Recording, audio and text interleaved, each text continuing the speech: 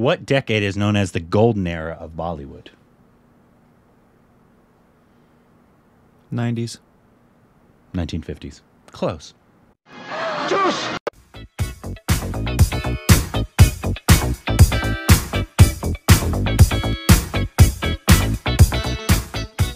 Hey, welcome back to our Stupid Reactions to Korbin. I'm Rick.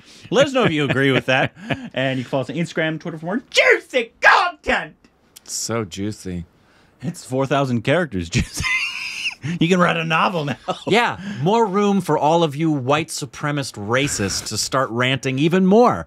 You know what? Have AI do it for you. They'll be more articulate. Today, we got a video, and this is super interesting. This is why Bollywood's Harry Potter was a box office bomb. Hold on. They're going to actually. One second. Um, Bollywood had a Harry Potter. yes. What the hell?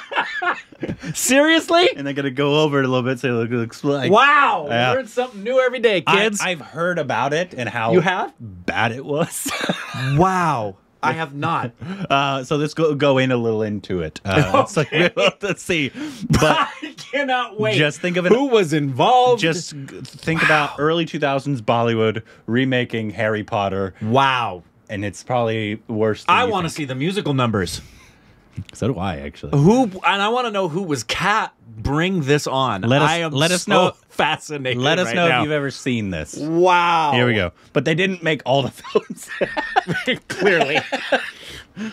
What would happen if Bollywood, the loud and lavish center of Indian cinema, decided to make their own version of one of the world's most magical franchises? This is the story of the Hindi Harry Potter. While the books might have been bestsellers, it was only after the Wizarding World hit the silver screen that Harry Potter skyrocketed into a multimedia mainstay that would eventually rake in billions of dollars. During its original theatrical run, Pottermania ripped through the world. The movies became instant classics, broke all kinds of box office records, and ruled popular culture, so that by 2003, Harry Potter was at five books and three movies with hype at an all-time high. Meanwhile, in India, the movie biz was booming too. Productions were starting to adopt more Hollywood sensibilities, and TV studio Creative Eye Limited wanted to be at the forefront of the industry's next chapter by going digital. Just a few years earlier, George Lucas had pioneered shooting high-definition video in lieu of film, and the tech had just arrived overseas. At a time when most Bollywood movies had budgets of well under $1 million, this was a game changer and gave Creative Eye the opportunity to produce a visual extravaganza that could become the country's next big cultural phenomenon. So, working with audiovisual company JVC, they plan to produce India's first ever 3D movie. Don't picture James Cameron's Avatar. This was the early aughts. We're talking old school red and blue. Nice. lenses. For the first time, India could actually make movies designed for this. Creative Eye combining the gimmick with a suitable family friendly story ripped from the West would spell box office gold. They did it in their neck of the 3D? So they quickly hired a couple of writers, including the auspiciously named J.K. Nirmal, to put together a Hindi version of the Harry Potter story entitled Abracadabra, The School of Magic. The script lifted a ton of elements from the original Potter pictures. A young boy is sent to a spellbinding castle to learn magic. There he befriends two quirky classmates, a shaggy groundskeeper. Is that as Anupam writer. Kher? That was The Anupam would feature Kher. kooky characters, magic wands, a forbidden forest with creepy spiders. I could go on. Don't even get me started about the invisibility pills. But the movie would also smartly adapt much of this source material for its own culture. Gone were the British isms, replaced with a heart unashamedly Hindi.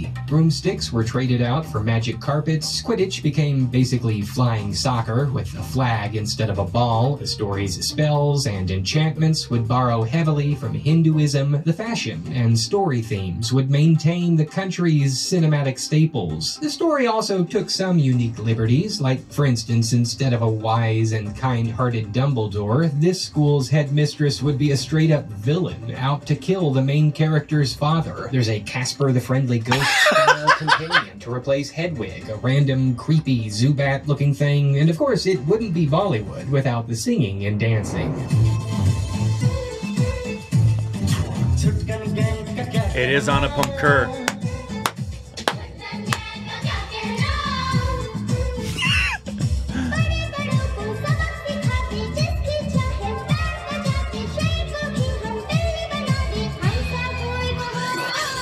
Abracadabra was written as a huge production requiring a massive cast, tons of elaborate costumes, original music with its own choreography, and hundreds of visual effects shots to bring the movie's 3D magic to life. To pull it all off, director Dheeraj Kumar knew the picture would need solid financing, so he turned to a method that Hollywood had spent the past decade perfecting placement. Oh. Brand integration in Indian cinema wasn't uncommon. Since the mid 60s, production studios would occasionally use it to cut costs. Ed Glazier's How the World Remade Hollywood notes that a single brand deal could pay anywhere from five to Yep. six figures, and that Coca Cola paid a whopping $670,000 for placement in the 2001 Bollywood movie Memories. But director Kumar didn't want well known international brands, instead, preferring to partner with Camlin, an Indian stationery company, and Parle G, which produced glucose biscuits. Nice. It'd be kind of like having an American produced movie featuring Crayola and Nabisco. the problem with brand integrations is, of course, how to integrate them. The writers needed a way to put the two companies' products into the story without breaking believability. So, how'd they do it? They broke believability. Abracadabra would feature two subplots, each involving Willy Wonka-esque golden ticket hunts, in which both companies would exist in-world and offer scholarships to the School of Magic as prizes. This idea could have come from the fact that Hollywood was in the middle of producing the infamous Charlie and the Chocolate Factory reboot at the time. Abracadabra's main character would inexplicably find both of these golden tickets. It's literally the same side story twice, just different logos. But hey, our hero can pull it off because magic. There are other not so subtle ad spots in the movie. When fake Harry is getting picked on by school bullies, there's a Popeye's spinach moment where he gains super strength thanks to eating a Parle G biscuit. And while the students are learning to cast spells in class, in one particular scene, they're instructed to levitate Camlin colored pencils. Not to mention that throughout the movie, the brands are constantly featured on screen. Our hero sometimes literally just stopping at a TV to watch a complete commercial. It's all a bit too much for most moviegoers. It's hard to fault the director. They've got to pay for those 3D glasses somehow. With brand deals locked in, the script finished, and a budget of just over a million dollars secured, Abracadabra rolled into production with high expectations. It would feature some of the biggest names in Bollywood, boast several big musical numbers, a plot that seemed to have everything that was popular at the time, and a novel viewing format to pique public interest. In short, this was going to be India's big thing. As the movie approached release day, director Kumar launched a massive marketing campaign throughout the country. Toys, coloring books, all kinds of merchandise featuring the movie's characters. Creative Eye pulled out all the stops, renting out malls and theaters, setting up publicity booths for cast members. They hung up advertisements in schools, arcades, libraries, Wow. all in an effort Did they go catch bankrupt the after this? Kids everywhere. For all intents and purposes, Abracadabra was too big to fail. It would almost Like the Titanic. certainly launch Bollywood's new era of big box office blockbusters, and so certain were the producers of the movie's immediate success that the flick's end credits even promised a sequel. And on December 24th, 2004, Abracadabra, the School of Magic, hit theaters. But stunningly, bombed.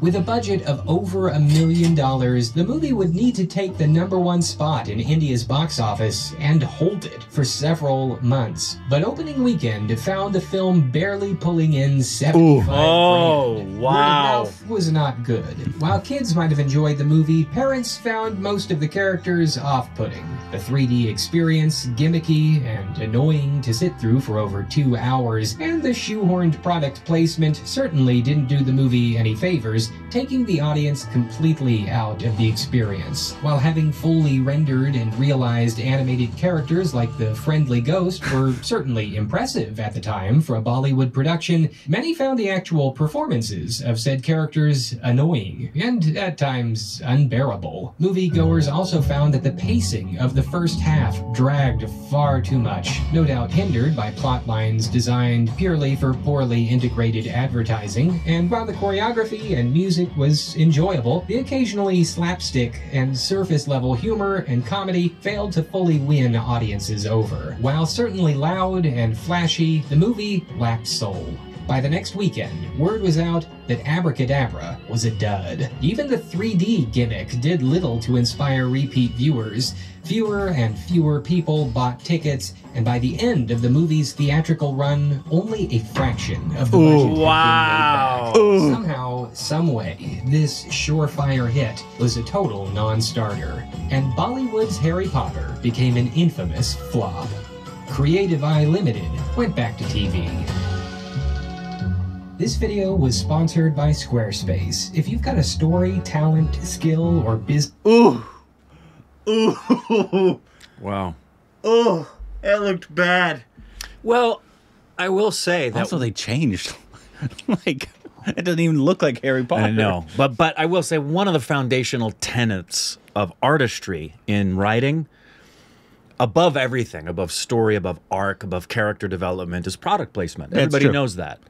There's nothing more important to your artistic integrity than ensuring you have product placement in your script Still, and the, story. the best product placement ever was in Wayne's World. It was amazing. You remember it? no, They it's been so long since I've seen Wayne's World. They oh, it's so good. It they it's little. They showed it in there. They said it's just really sad. People keep selling out, and that he's like decked out in Pepsi, and like it's all tongue in cheek. That's- but like, yeah. And then they went into like Advil. Oh, here you have a headache. Take one of these. I, I have nothing against product placement. It's a really That's a- wonderful that's a- thing. that's a comedy. Yeah, film. it's real. But when you've made it a part of the story, that is that's absolutely unconscionably unforgivable. Like you want to watch Seinfeld. No human being in their right mind has 15 boxes of cereal in their kitchen, but Jerry does. And the product placement in Friends, that I found one that I paused and showed to Indrani. We were watching Friends, and I said, "They're getting lazy." This was like this is season six, and I paused it and I said, "Producers and writers are getting lazy because on top of Phoebe's refrigerator was a bottle of A1 steak sauce. Phoebe's a vegetarian." Passionately against the killing of animals and eating them, but she's got A1 steak sauce on top of her fridge. Maybe she puts it on her tofu. Maybe. so anyway, product placement's fine as long as you're not perverting the art form to just put it into the story so that you can get more product placement. Yeah, That's I- awful. I've- among many other things that are awful about that. Oh, geez, the CGI was bad. if we, I know what I'm asking Anupam Kher if we talk to him. Uh, I bet he. I bet he didn't do promotion for that, unless they paid him a lot of money. Oh man. Oh, that's something that I just, I just dread. Being contractually obligated to promote something that you know is an absolute piece of crap. Yep. And they have to. You're, you, it's part of why why they paid you. Yeah. You have to do the press junkets.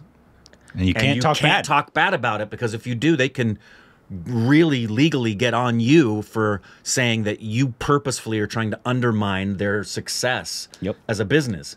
So that's that's just rough. It's yeah, That's absolutely rough. In fact, Um, that's something that uh, in, in a recent, I I think it was a the actor on actor thing. Jennifer Lawrence was talking to, um, um, why is her name escaping me? Viola Davis. And Viola asked her, "What's one of the most interfering things, troubling, hardest things for you that interferes with your work as an actor?" And without hesitation, she said, "Oh, press." Having to do interviews. It's just that's because you want to keep your instrument clean and you want to be focused on the work.